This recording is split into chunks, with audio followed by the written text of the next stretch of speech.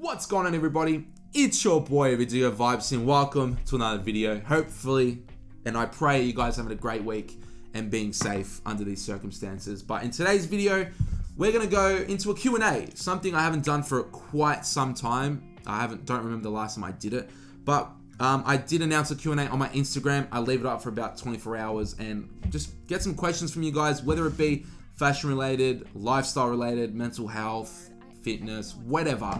Um, and just go through all the questions because some, you know, it's good to gauge with the viewers like you guys if you have any questions that you might have for me. So, um, once again, follow me on Verdugo Vibes Instagram handle, and also don't forget to check out my Rob Verdugo podcast.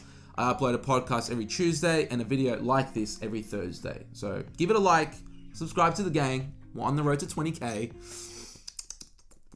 Oh man, I can fucking taste it. Oh my days. But anyways, uh, we'll get into the first question, which is, how's the fitness journey coming? You are a huge reason I lost 90 pounds. Stay strong. Holy fuck. Bro, I read that was like, that's massive props. Like, congratulations, and the grind doesn't ever stop. So keep it up. And in terms of my journey, since November time, uh, not even, yeah, probably November, October, I've lost about 10 kilos, funny enough. Um, and I just haven't really, like, I've eaten my zinger boxes and gone out to eat with mates and stuff, but I make sure I try to balance out the day's caloric intake. That because that's really all it is is your intake. If you're in a surplus, you gain weight. Deficit, lose weight. Simple enough. In terms of like nutrients and shit, though, I definitely have to be in a lot more careful with that and a lot more focused on it, which is something I'm trying to do. But in terms of that, just been going to gym for like the last month and a half, and it's been good. It's like you know, it's a good stress reliever. But um, yeah, so far so good. Next up, what's your favorite piece of clothing slash pair of shoes that you've ever owned? Favorite piece of clothing would have to be my uh, BK Bare Knuckles black and red striped denim jacket. It's the most, it's the perfect fitting jacket I've ever owned. It's wide, it's cropped, it fits beautiful in the shoulders, sits just on my waist. I can wear it like so many variety of different ways. It's very versatile and it's quite a semi-statement piece as well, which is good. So that has to be my favorite piece of clothing. And the shoes, you guys know, uh, Saint Laurent Paris SLP Ranger boots from Fall Winter 14, I think. I could be wrong, but yeah, they're like, oh, like I would never ever get rid of them. I wanted to, started last year or something, but nah, no fucking way. Next up, a bit of a touchy one is how's about I don't know why I wrote that. It's probably it's obviously here, but how's the corona? How, how's the whole corona situation going?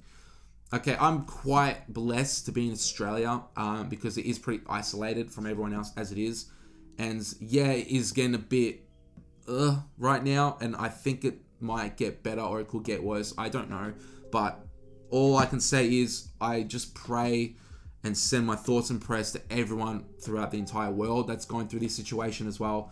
And it is hard, but I know we're all going to get through this. I know it for a fact. Society will be completely different. Don't get me wrong. Society is going to change. I really feel like a lot of people won't buy from China anymore. As shit as it is to say, I feel like a lot of people after this are going to realize, hey, let's support local businesses because of certain stuff happening with the masks and the sanitizers and stuff. But I don't know, man. Just be safe. Wash your fucking hands. Don't cough on anyone. It's not a fucking joke. It pisses me off when I see shit like that. Like, it's not funny. Like, you do realize that you're giving a virus to someone who that certain someone could see an elderly or be in that state of not being a bit of a higher risk. And it just, yeah, it's fucked. But I don't know. It's I'm in limbo, honestly, and I'm just a bit paranoid. But yeah. Uh, moving on, we have a not so touchy subject is how much do you feel your style has changed over the past year? Love you and your vids. Thank you so much, man. I really appreciate it. Thank you for watching the videos. And everyone that watches, I really do appreciate it. It means so much. But in terms of my style and how it's changed over the past year, I actually did a podcast on Tuesday on my style and progression. So Spotify, iTunes, SoundCloud as well. Go ahead and check it out. It's just my evolution of when I was a white fuck fuckboy, tryhard steez to who I am today, which is still a white fuckhead type steez. But yeah, I went in depth of like the brands that I was into, like and how it changed and my maturity and my age becoming a major impact on how I dress. So yeah, in terms of how my style's changed, uh, I feel like from last year this year, not much has changed. So next up, we have what are your next 100% purchases? Number one, Dark Shadow Ramones. They are on my list. I will get some, not soon, in a while. I will get some. They're very hard to find. I don't know why. It's like everyone just wants a pair. I bought them like start of 2016 and everyone fucking wants them and I want them back again. And then secondly would have to be my Rick Owens trousers, my TE material trousers. Long or short, I don't mind, but yeah, that's next on my list. In the future, obviously. Next up, oh my god, I can't talk. Hi, hi I wrote here, hi how. How high do you think high-waisted trousers should be? Above the belly button or not? And this goes, this is very personal and more like subjective to me because for me personally, I have short legs, so then I tend to wear my trousers a bit more high waisted on my belly button, pretty much. I'll admit it because if you have, if you're a much taller guy and you have long legs and you wear high waisted trousers, it's not really gonna work just because your proportions won't be balanced unless you're going for that intended high waisted look with the cropness and a bulky shoe. I personally just believe that I like to have mine balanced and keep it nice and balanced. Next up is favorite steal of 2020 so far. My bomber jacket, which I copped thrifted for eight or twelve dollars. I did a video on it like two weeks ago or three. I wore like I've been wearing that so much and it's just impeccable. Like quality is astounding. It was like eight, ten bucks. Like what the fuck? Leather sleeves, nice woolen like um, exterior on the front and the back, obviously. But yeah, moving on. Next up is best SLP slash Dior boots alternative. Um, Sanj, you've actually answered this question. I watched the video not that long ago. So go ahead and check it out. I'll leave a card and everything here. But basically, he goes in depth of a brand. I believe he's called From the First, I think. But with that brand, this is the one thing he went into detail was you can get the alternative and it can look identical and give off that identical look that you want. But if you're a fashion head like me and like other fashion YouTubers and you care about the brands and you're more based on brand royalty, brand loyalty, sorry, you're not going to get that satisfaction of having that Dior Navigate from 2007, that historical grail piece. You're going to have something that's identical to it and have that same look. So whether you have an actual emotional attachment to that is very meh. But in terms of me personally, I believe that you can go for a Doc Marten 1461, I think. Um, I believe it's the 1461. I'll leave, you know, details here. But you can have the, you can color in the stitching, you can wrap the laces like the Dior Navigates and it will look very similar. And it's a Doc Marten, everyone still knows it too, so it's kind of its own wave. But next up uh, is what's your current plans regarding jobs, school, travel, clothing, etc. This question just adds to my anxiety today, honestly. you know what? I don't give a fuck. I really don't care. But the current plans right now, in terms of job wise, because the virus is running around and running amok, not many places are hiring. There are like businesses, small businesses that are closing down, unfortunately, for a couple weeks, maybe in a month. We don't know. But there are companies that just aren't hiring. But I'm in like the midst of getting some volunteer work for marketing for a company. I won't say because it's not you know set in stone yet.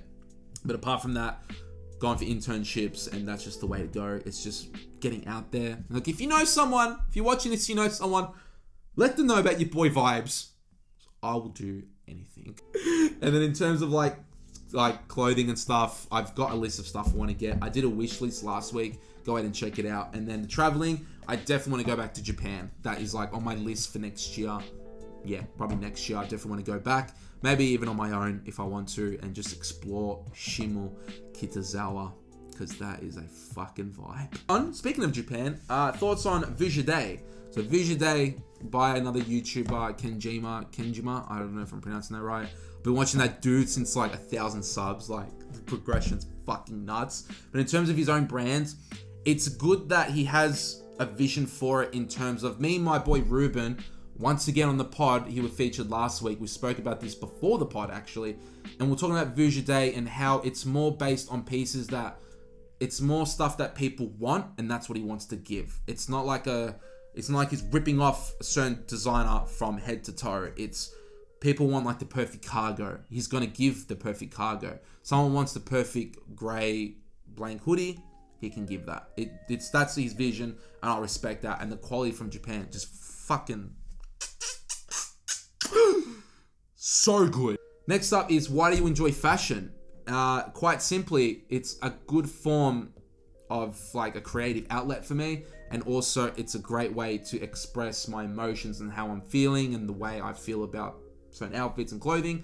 I can base that on my body, along with the tattoos, obviously. But with clothing, it's just my form of it's just expressing how I feel and my creative outlet, pretty much. It's just yeah, that's that's all I could really say.